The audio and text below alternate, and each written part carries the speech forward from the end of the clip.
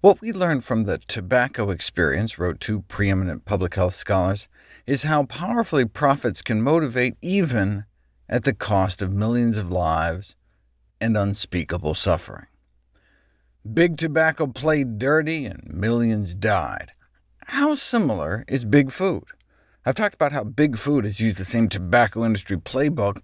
What about using the anti-tobacco playbook to counter the obesity crisis? Tobacco is one of our great public health victories. The, the share of adults who smoke declined from 42% in 1965 down to just 15% by 2016. Uh, that's about 5 out of 12 down to less than 2 out of 12. Thanks to the decline, cigarettes now only kill about a half million Americans every year, whereas our diet now kills tens of thousands more. Currently, the leading cause of death in America is the American diet. Might we be able to use the same strategies that were so successful in the battle against big tobacco? Uh, it may be no coincidence that three of the most cost-effective policy interventions against obesity seem to be taken straight from the tobacco wars. First, taxes on unhealthy products, front-of-pack labeling, and a restriction on advertising to children. Excise taxes on cigarettes has been cited as the single most effective weapon in slashing smoking rates, a 25 cents per pack tax to help deal with some of the societal costs of smoking was associated with as much as a 9% decrease in smoking rates. The World Health Organization has estimated that a 70% global increase in the price could prevent up to a quarter of all tobacco-related deaths worldwide. Extending taxes on alcohol and tobacco to foodstuffs was proposed by none other than Adam Smith in his 1776 Wealth of Nations. Sugar, rum, and tobacco are commodities which are nowhere necessities of life, which have become objects of almost universal consumption, and which are, therefore, extremely proper subjects of taxation. People have the right to smoke and drink and eat fattening foods, the logic goes, but perhaps they should help defray some of the publicly funded medical costs that result. Well, if that's the case, why not tax obese people directly? taxing people based on their weight was proposed at least as far back as 1904 in the British Medical Journal, a kind of pounds for pounds strategy, actually only up to 7 shillings and 6 pence per pound.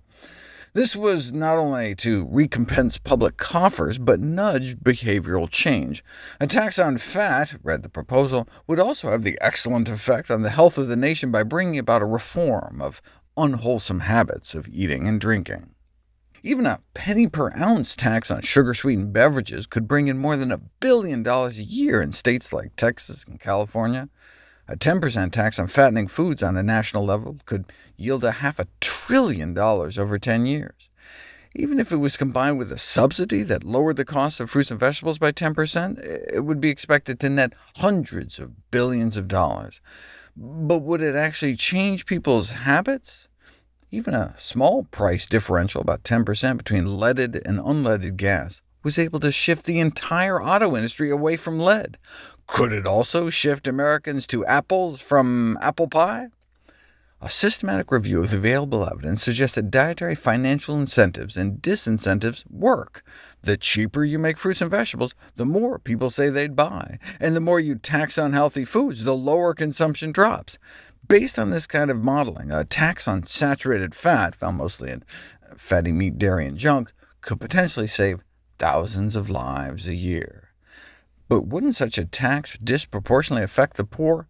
Yes, in that we would expect them to benefit the most. It's like cigarette taxes. The classic tobacco industry argument is that cigarette taxes are unfair and regressive, burdening the poor the most to which the public health community responded, cancer is unfair. Cancer disproportionately burdens the poor, so taxes would be expected to affect the greatest health gains for the least well-off.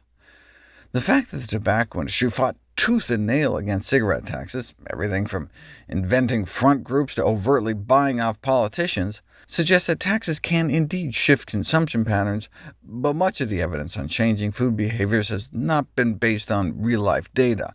You can put people through fancy 3D supermarket simulators and discover that a 25% discount of fruits and veggies appears to boost produce purchasing by the same amount, up to about 2 pounds a week, but virtual vegetables don't actually do you any good.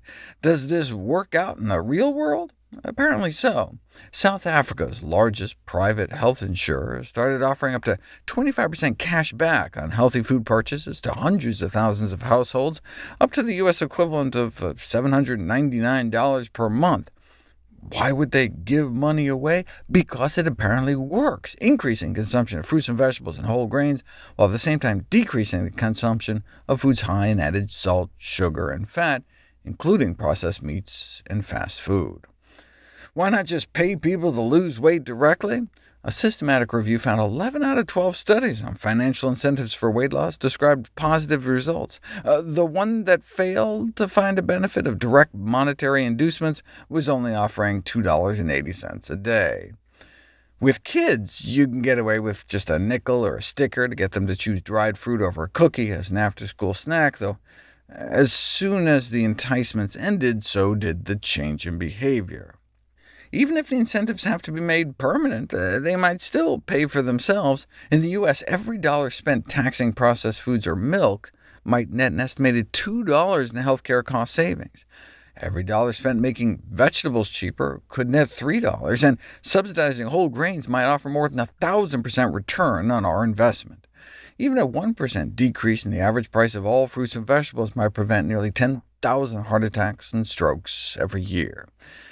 Uh, what about taxes, though, which tend to be less popular than subsidies? In Europe, a number of countries have instituted taxes on sugary or salty foods, but Denmark was the first to introduce a tax on saturated fat.